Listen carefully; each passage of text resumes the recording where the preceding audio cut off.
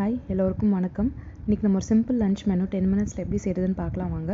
நமக்கு busy schedule அப்போ இந்த மாதிரி ஒரு ரெசிபி ட்ரை பண்ணி பாருங்கள் இது சிம்பிளாக மட்டும் இல்லைங்க ரொம்ப டேஸ்டியாகவும் இருக்கும். இதுக்கு ஒரு கால் கிலோவுக்கு வெண்டைக்காய் எடுத்திருக்கேன். ரெண்டு தக்காளி மூணு பச்சை மிளகாய் சின்ன சைஸ் புளி பத்து சின்ன வெங்காயம் ரெண்டு பல் பூண்டு அப்புறம் தேங்காய் கொஞ்சம் குழம்பு மிளகாய்த்தூள் ஒரு டேபிள் ஸ்பூன் ஒரு அரை டேபிள் ஸ்பூன் அளவுக்கு தனி மிளகாய்த்தூள் இப்போது இந்த வெஜிடபிள்ஸ்லாம் நம்ம வந்து கட் பண்ணி வச்சுக்கலாம்.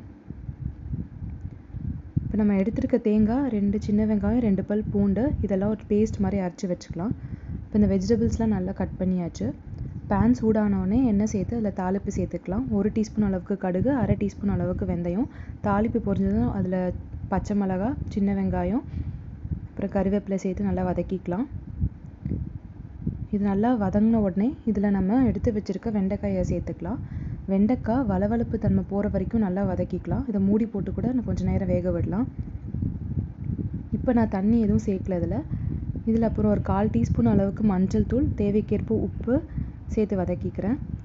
அப்புறம் நம்ம எடுத்து வச்சுருக்க தக்காளி அப்புறம் மசாலா பொடியெல்லாம் சேர்த்து நல்லா வதக்கிக்கலாம். மசாலா பொடி பச்சை வாசம் போகிற அளவுக்கு வதக்கிக்கணும். அது அடிப்பிடிக்காமல் இருக்க கொஞ்சம் தண்ணி சேர்த்து நம்ம வதக்கிக்கலாம். இது நம்ம குழம்பு மாதிரி வைக்க போகிறதில்ல ஒரு கிரேவி மாதிரி தான் வைக்க போகிறோம் நெக்ஸ்ட்டு நம்ம கரைச்சி வச்சுருக்க புளியும் இதில் சேர்த்துக்கலாம்.